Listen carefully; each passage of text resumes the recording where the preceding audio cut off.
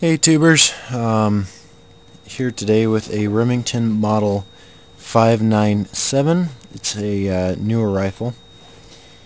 Um, it's my friend's rifle. He's uh, had, we took it up to the range shooting. Uh, beautiful scope, I love that scope on it. But it has a problem with the uh, trigger not catching. Like you pull the trigger and it doesn't catch, you pull it a bunch of times and it finally catches.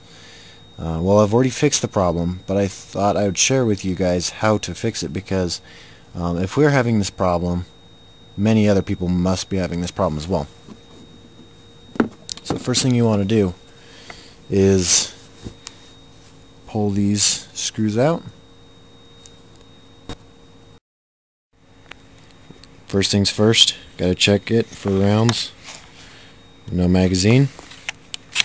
Pull the bolt open look down where the the uh, where it goes. It's empty. You want to look up here. Empty. Cycle it a few times. Alright no rounds. We're safe. With a uh, an Allen wrench. Just like that. Bolts are down there. Now this stock will separate Alright, next thing you want to do, want to remove this pin right here. I'm just going to use this Allen wrench and push it in a little bit. Until it starts coming out the other side. Grab some needle nose and uh, gently pull that out. It really just sits in there. Now that the whole trigger group will come out. It's very simple how that sits in there. Go ahead and set this down there now. Now in this trigger group, there's a little inside there. There you go. It's that piece right here. So the trigger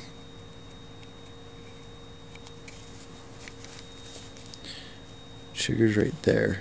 Let me flip a light on real quick and see if we can get some more light so you can see better. Alrighty, we got two real bright lights above me now. Let me pull that trigger. Know, that's supposed to stay solid, but I'm not sure what this pin does right here. It's a little right there. When this gets pulled back, it bends that. Then it pops that down, which is kind of a fun thing to set back up again. Done it so many times tonight that it's I can do it with one hand. It's already set back up again.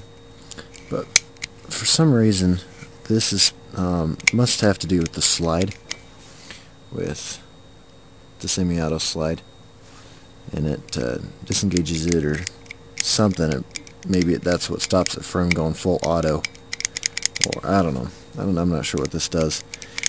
But the reason why you have the problem with the trigger uh, becoming unresponsive is this sticks in this position. It does not return. It will actually stick and stay this way.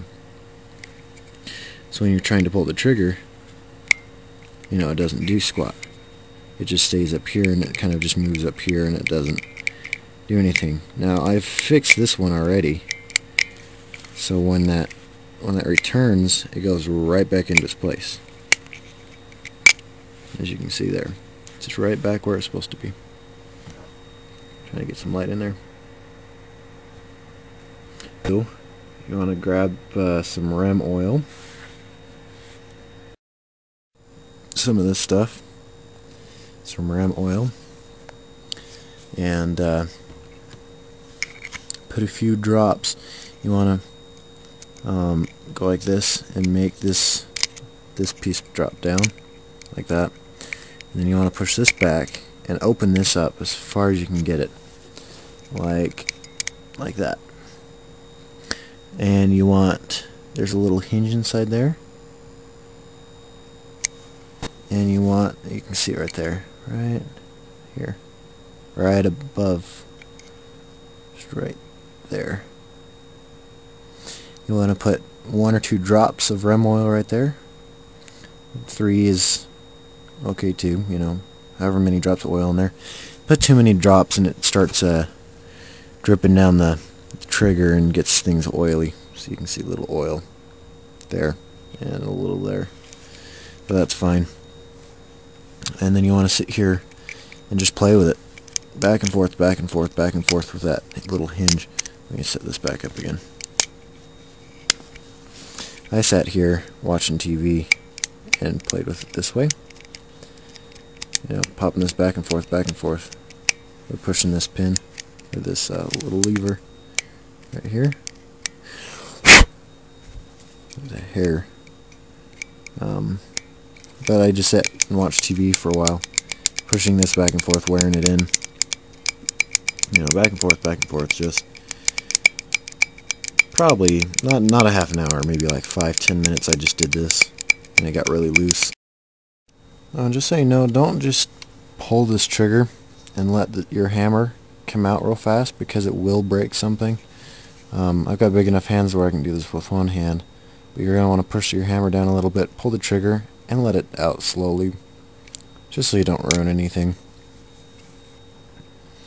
Um, so, after playing with a bunch like this, with the hammer up, um, I also, you know, let this drop, made it go all funny, and then cycled, or not cycled, but made it bend in a larger way a few times. Just make sure you don't stretch that little spring out. That's down inside there, as you can see there. If you don't stretch that out. Like that's that's as stretch as you want to get it. No more than that. Just make sure cycle that if you or uh, you know bend that around a few times. You see that's bending quite a bit more. Know, just bend it a whole bunch of times, and then uh, should be uh, just fine to go back in the rifle. Should work just fine. Um, I'm gonna reassemble it now. Really simple. This piece drops in here like that. This pin drops in there like that. That, that group doesn't go anywhere, which is a good thing. Then grab your stock and drop your full assembly into the stock.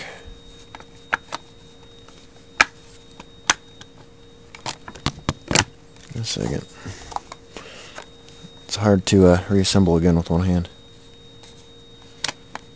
Rifle, for those who are technical about their... Oop, pin fell out. Well, I'm going to reassemble this off camera so I have both hands to do it. Alright, when I'm putting these bolts back in, shorter one goes in the front, longer one goes in the back. Shorter one goes here. Longer one goes here. Then you go at one, two, start to tighten these up. Alrighty, just tightening these up now. You want to make sure not to over tighten. Um, I'm just tightening just with this. If I put it this way and tightened it, there's a risk of um, damaging the stock. So all you need to do is, you know, just snug it down. It's not going to go anywhere. And uh, that's how you fix the, the firing problem in a uh, Remington Model 95 Model 597. Let's see. There you go.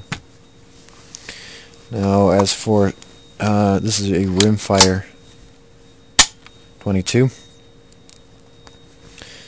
Uh, of course, 22 being rimfire. There are some 22s out there that are centerfire. That would be a 22 mag. Um, but with center fire pistols and rifles, dry firing will destroy them. Now I did just dry fire it twice. Um, that's because I just did a repair, just making sure it worked. Um, first thing you want to do anyways before you work on a gun is uh, check for that, which we did. Um, uh, let's see. But dry firing, uh, rim fire will destroy them. Um, I've been told center fire is fine to dry fire, but I still wouldn't, you know, just after a repair or something you've done, just to cycle it to make sure that's it. You know, don't just sit and dry fire them. I've seen guys destroy their rifles. It's not a fun sight. So, hope you enjoyed YouTube. If you could go and uh, give me a thumbs up. If you could subscribe and comment tell me what you think about the video. Um, that'd be great. See you later, YouTubers. Bye.